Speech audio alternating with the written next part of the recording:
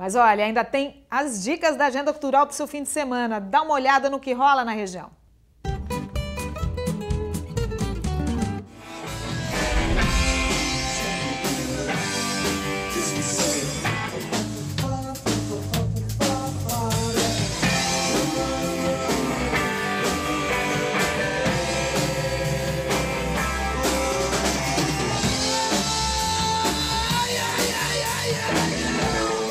Gente começa com muita música boa em Araçatuba neste sabadão.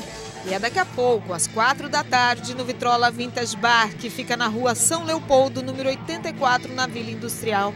A primeira apresentação fica por conta da banda Geriátricos, que trará no repertório grandes clássicos dos anos 80.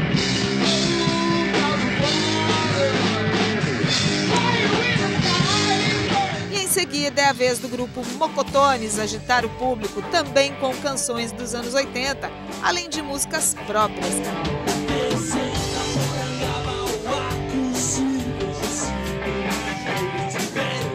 A entrada é de graça.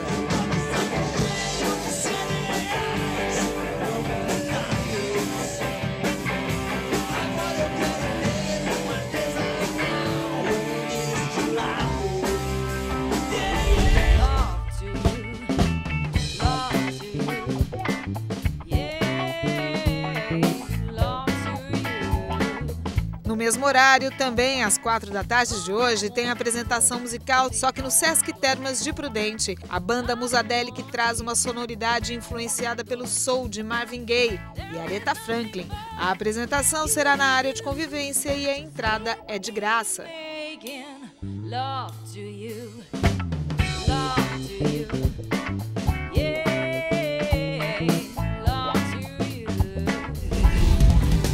Seus olhos verdes espelho brilham para mim. Logo mais à noite, às 9 horas, uma das maiores duplas sertanejas do Brasil vai se apresentar em Olímpia.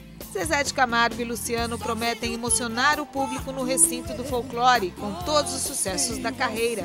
O show faz parte das comemorações dos 115 anos de fundação da estância turística. A entrada da pista é um quilo de alimento. Menina demais pra nós dois. E agora vocês verão, senhoras e senhores, o voo da gazela. Gazela? Quem é gazela? Ó a gazela aí, ó. O domingo fica reservado para diversão. Às três horas da tarde, a Companhia do Circo do Asfalto apresenta ao público do Sesc Termas de Prudente o espetáculo Show da Percha velhos números circenses começam a voltar à praça. É o caso da percha, um mastro sustentado por uma pessoa, enquanto a outra sobe até o seu topo e ali apresenta toda a destreza.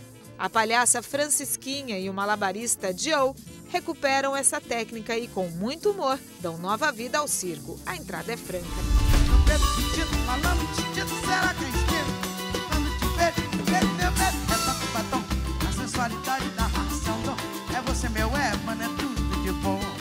São José do Rio Preto recebe amanhã à noite, a partir das 7 horas, toda a irreverência da cantora Alcione. Ela comemora 70 anos e faz um resumo dos 45 anos de carreira.